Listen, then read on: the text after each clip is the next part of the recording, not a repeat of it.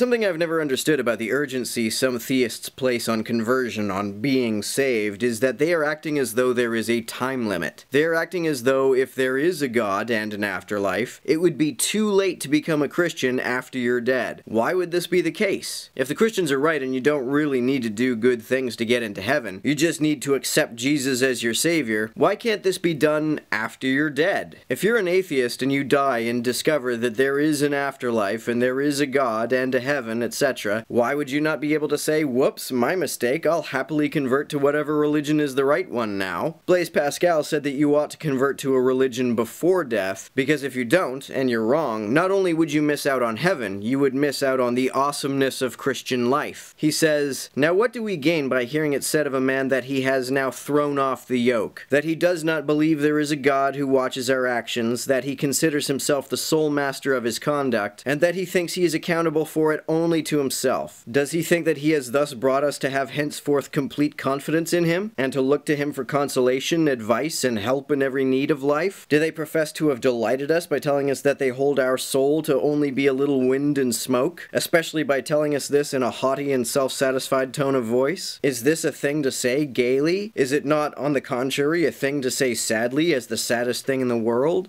This is, in part, a straw man of the atheist position. We may not believe that we are accountable to a God, but that does not mean we believe we are accountable only to ourselves. Whether there is a God or not, we are subject to the rewards and punishments of the communities in which we live, and are in that sense accountable to them. This is also something of a subjective judgment. I see nothing sad about the idea that we don't have an eternal soul, or the idea that there is no celestial dictator watching our every move and every thought, and passing judgment upon them. I don't think I would enjoy Christian life. And even if I did, I wouldn't need to try to convince myself that a God exists in order to partake in it. I don't need to believe in Yahweh to attend a lecture every Sunday, or dress like a Romney, or go door to door irritating the shit out of people. If those things made me happy, I'd do them whether I believed in a God or not. There are, in fact, atheists who still go to church and follow the rituals of Christianity because they enjoy them. Since they don't really appeal to me, I don't feel like I'm missing out on anything by living my life without them and without the belief in a God. Apologists also sometimes argue that when God sends people to hell, he's simply doing it so as to not force his presence upon people who don't want to be near him.